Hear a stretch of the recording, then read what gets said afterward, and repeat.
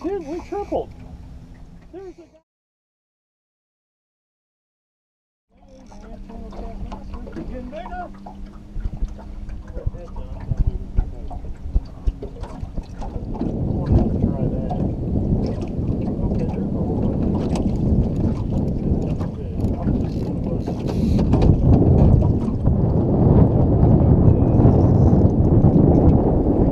The rig I'm using. Hopefully you can hear me.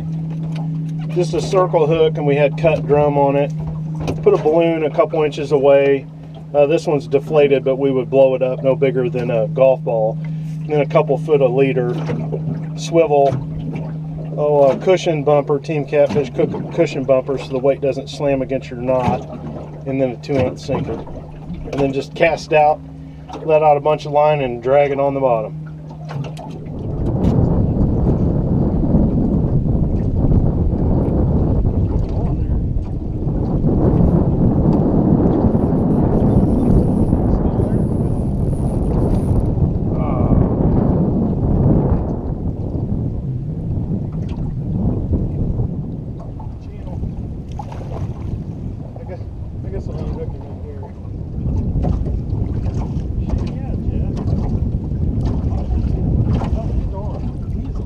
just seen a bunch of them too.